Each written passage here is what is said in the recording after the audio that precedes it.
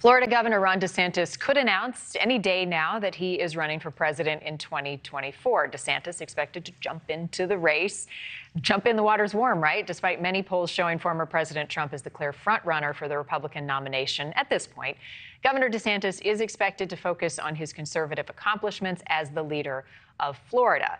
Joining me now, Ryan Williams, a former deputy press aide to Mitt Romney's presidential campaign. Good morning to you, Ryan. Thank you for being here. So, DeSantis has told his donors that only he can beat Donald Trump. Are you in that camp of thought?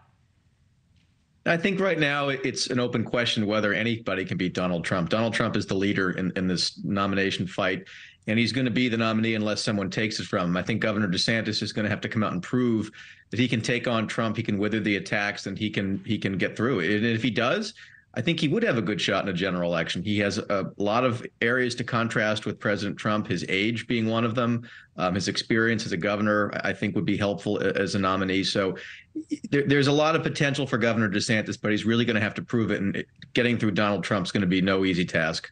Right. And I guess he hasn't been put to the test yet. So we'll see as he hits Iowa and New Hampshire in the weeks ahead. Is he durable enough? I guess the question will be to withstand the ire and the force, the full force of a Donald Trump.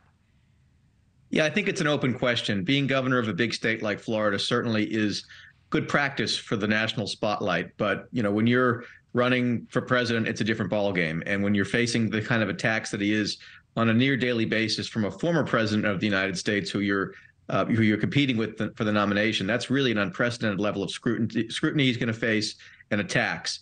And I think it's just an open question. We're going to have to see how how he does in, in these debates which I think favor uh, Trump. They're a good stage for him to get up and kind of you know get, do his act and attack people, uh, and then just whether he can do the retail politicking he's going to need. He's going to need strong performances in Iowa and New Hampshire if he's going to have any shot of upsetting Trump.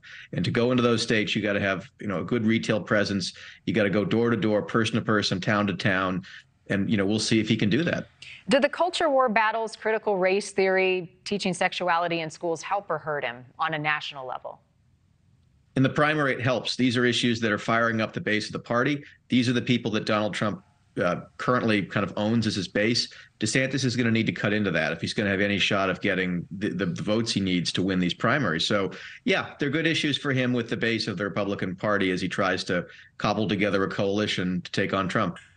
He touts Florida as being the best state in the country, and he leans into his record there and by winning uh, in his most recent election. But not everybody wants to live in Florida. In Florida, how does he walk that line and appeal to people all across the country as he visits these communities?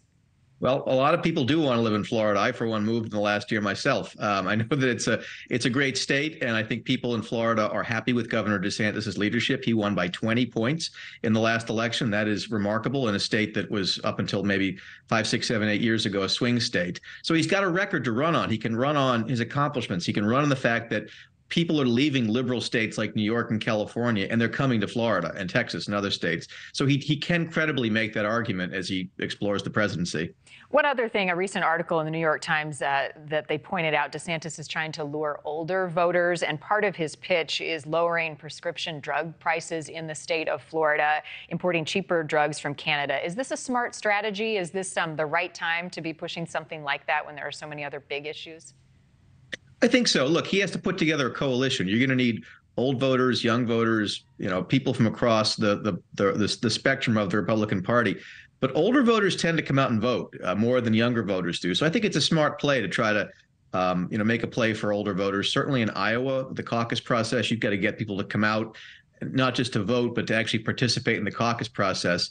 Those are generally older voters. So i think it's a good it's a good pitch he can make to a, a certain section of the electorate that, that, he needs to court. How aggressive do you think he'll need to be when facing off against the former president it's a very fine balance. Uh, Donald Trump still has mythical status within the Republican Party, but he can't look weak. If he just sits there and lets Trump attack him like a punching bag, he's going to look weak and he's not going to win. He has to find a way where he can contrast with Trump on conservative issues, where he can push back at him and look like he can stand up to Trump. That's really the only way he can do it. It's a very difficult task um, because Trump still is very well liked in the Republican Party, and he can do no wrong. You know, he's under indictment right now, and voters in the party don't seem to really care. So you can't really attack him on that. But you can attack him, I think, on certain issues like his handling of the pandemic. Thank you for watching. Go to newsnationnow.com to find News Nation on your television provider. And don't forget to click the red subscribe button below to get more of News Nation's fact driven, unbiased coverage.